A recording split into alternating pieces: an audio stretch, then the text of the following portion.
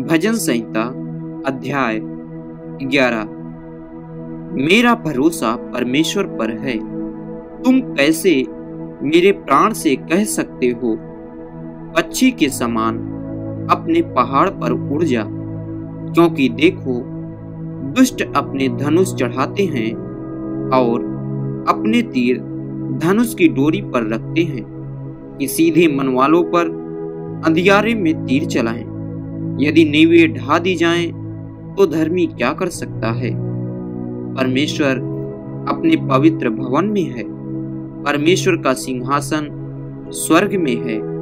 उसकी आँखें मनुष्य की संतान को नित देखती रहती हैं और उसकी पलकें उनको जांचती हैं। यहोवा धर्मी को परखता है, परंतु वह उनसे जो दुष्ट हैं और उपद्रव से प्रीति रखते हैं, अपनी आत्मा में घृणा करता है।